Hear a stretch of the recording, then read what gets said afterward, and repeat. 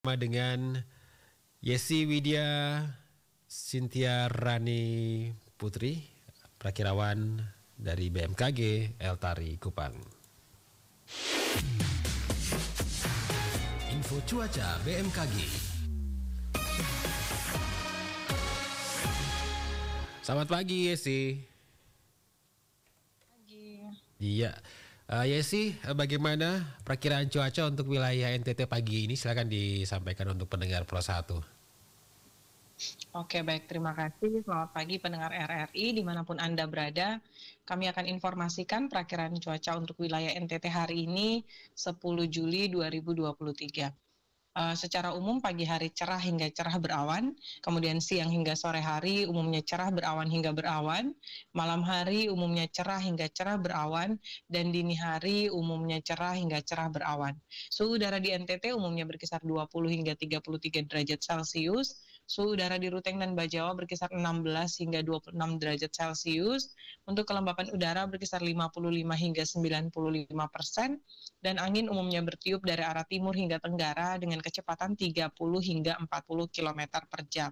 Kemudian untuk peringatan dini, waspada potensi meluasnya kebakaran hutan uh, atau lahan di wilayah Nusa Tenggara Timur.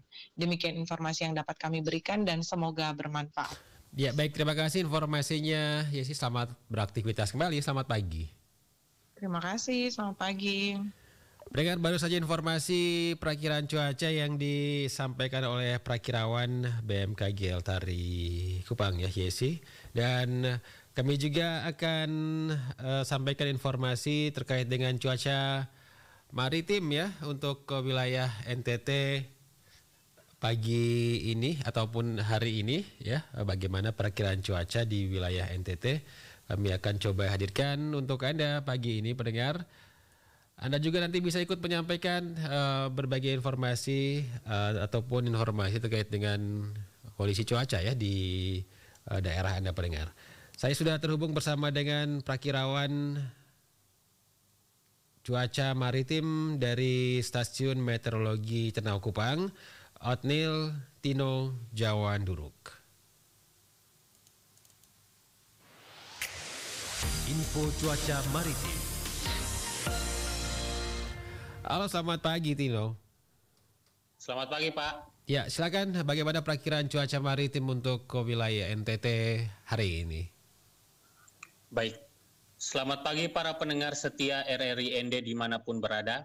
Izinkan saya Otniel Tino Jawanduruk untuk memberikan informasi terkait perakiraan cuaca maritim di wilayah Nusa Tenggara Timur yang berlaku pada tanggal 10 Juli 2023 pukul 8 pagi hingga tanggal 10 Juli 2023 pukul 8 malam WITA.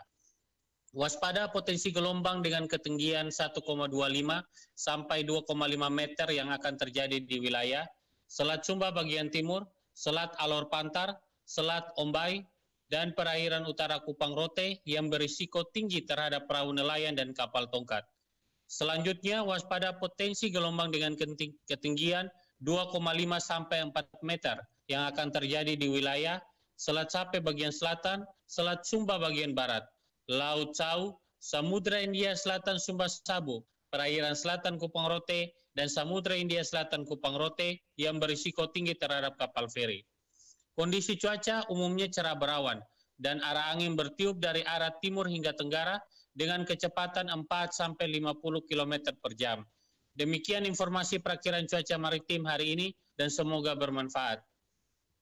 Oke, terima kasih informasinya. Tidak selamat beraktivitas kembali. Selamat pagi. Selamat pagi.